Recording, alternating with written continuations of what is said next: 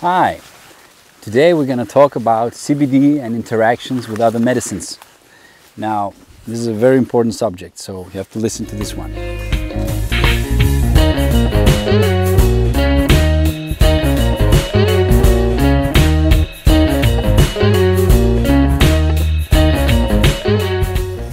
Wow, it's sunny today.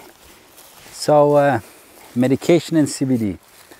Now, you know, everything is not that simple as many people think. But in the end, we have to make it simple because how are you going to live life if you don't simplify the subjects that are complicated?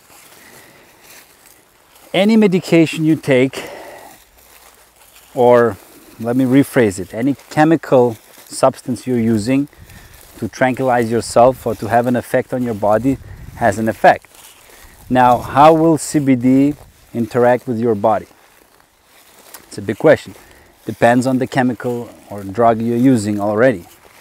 Now, if you take, for example, grapefruit, okay, grapefruit is very interesting because when you go to the pharmacy and buy a drug, it will always say on the package on most of the drugs that you cannot consume this drug together with grapefruit because grapefruit inhibits the uptake of whatever chemical you're having. Now that's very amazing, isn't it? That simple thing like grapefruit can interact with your drugs and actually block them from entering your body. That's why I think it's very important to eat grapefruit every day because whatever chemical or poison you're getting in the supermarket it's not going to enter your body. Grapefruit is going to stop it. When you take CBD with any other drug or chemical, you should be a little bit cautious because CBD many times, according to research and the experience I have, um, increases the uptake of whatever you're taking. So if you're taking morphine, for example, and you're taking CBD, now you need half the morphine you used to take because of some complex movements in your body through the cell membranes and stuff like that.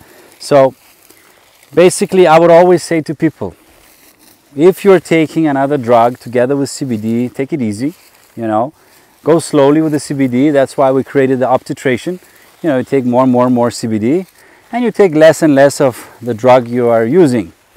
Uh, we see it like, for example, people with diabetes, uh, they use a lot of insulin, but after they start on CBD uh, and down titrate insulin, after a couple of months, they don't need it anymore. Maybe that's why this movement is so important.